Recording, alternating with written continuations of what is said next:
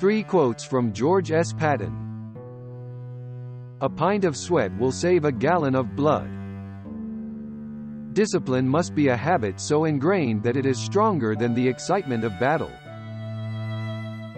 My men don't surrender. I don't want to hear of any soldier under my command being captured unless he has been hit.